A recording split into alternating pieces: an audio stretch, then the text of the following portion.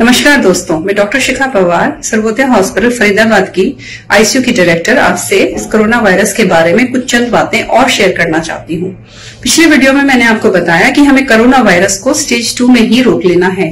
हम नहीं चाहते कोरोना वायरस स्टेज थ्री में किसी भी प्रकार जाए। तो मैं आपको कुछ चंद बातें बताती हूँ आज फोमाइट्स के बारे में। अब हम घर में आइसोलेट हो गए हैं और हमें, हम अपने आप को सुरक्षित रख रहे हैं। हम बाहर नहीं जा रहे हैं, लेकिन हमें फोमाइट्स का ख्याल रखना है। अब फोमाइट्स क्या चीज़ होती है? फोमाइट्स वो वस्तु होती है जो कि जिस पर कि वायरस अटैच हो जाता है। अब छोटा सा एग्ज़ाम्पल ले लीजिए न्यूज़पेपर।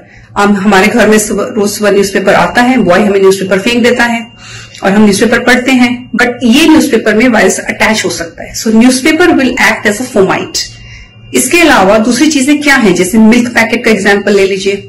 अभी हम मिल्क पैकेट्स ले रहे हैं तो मिल्क पैकेट में भी, भी एक फोमाइट की तरह एक्ट कर सकता है।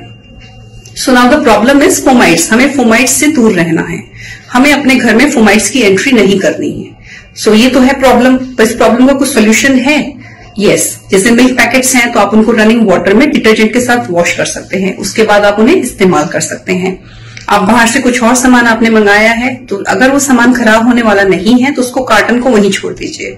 सो एटलीस्ट ऐसा करने से 12 से 24 घंटे बाद वायरस खुद ही उसमें मर जाएगा। फिर आप उसको इस्तेमाल कर सकते हैं। कुछ चंद और बातें हैं। मैं अभी भी देख रही हूँ लोग बाहर घूम रहे हैं ग्रोसरी की शॉपिंग कर रहे हैं। तो ये सब चीज़ें हम पंद्रह दिन के लिए रोक सकते हैं। हमें ये सब चीज़ें रोकनी होंगी। अगर हम ये नहीं रोकेंगे तो हम एट रिस्क हैं। और अगर आप बाहर जा ही रहे हैं, आपको लग रहा है कि असेंशियल काम है, इसके बिना आपका काम नहीं होगा, और आपको जाना ही है तो सिचुएशन में आप क्या करेंगे? तो घर आइए, सबसे पहले आप किसी भी डोर नॉक किसी भी हैंडल को मत छूइए। घर आके सबसे पहले आप अपने कपड़े चेंज करिए, कपड़ों को वॉश करिए, नहाइए। यू नो आप देख रहे हैं मैंने सर पे कैप भी डाली है बिकॉज़ मैं अपने हेड को प्रोटेक्ट कर रही हूँ। बिकॉज़ मैं नहीं चाहती कि मेरा हेड पे जो मेरे हेयर है वो एक फोमाइट के जैसे एक्ट करे। सो so, अगर आप बाहर गए हैं तो आपको कंप्लीट पूरा नहाना पड़ेगा।